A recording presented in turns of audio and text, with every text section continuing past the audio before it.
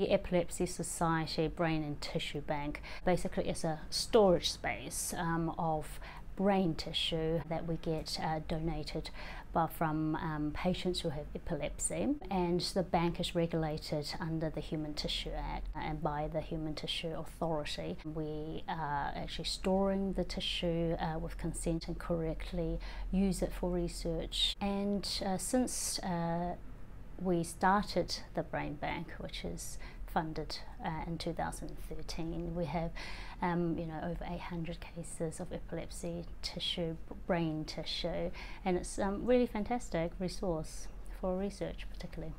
Brain donation um, is uh, very precious and uh, very variable, especially for um, research and.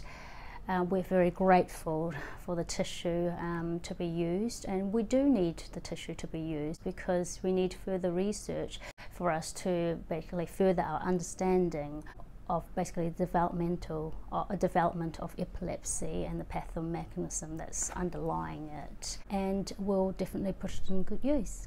I'm involved with in a very exciting uh, project. When tissue comes into the brain bank, we tend to uh, freeze and fix tissue. Now, most of the time we try to uh, fix the tissue because this tissue can then be stored in room temperature and used for uh, pathology and histology. The frozen tissue we only keep uh, kind of a, a, few blocks and the reason why we keep them is for molecular studies. So frozen tissue um, basically are better for applications like omic applications. Now what we want to do with this study is actually extract DNA and RNA from our fixed um, tissue cohort and see whether the quality of DNA and RNA there could be used for omic studies like such as the nanostring, string, which is a very new technology.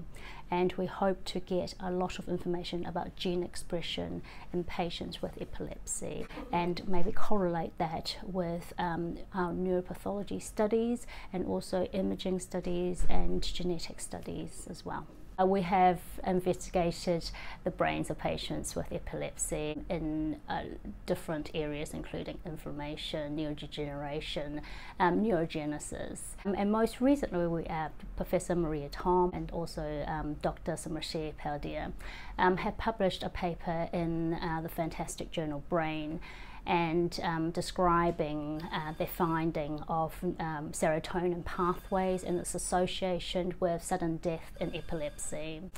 So that's, that's really an amazing study using um, stereology, um, using over 300 um, sections from each individual cases and um, it's very interesting and we hope to further expand on that research later on.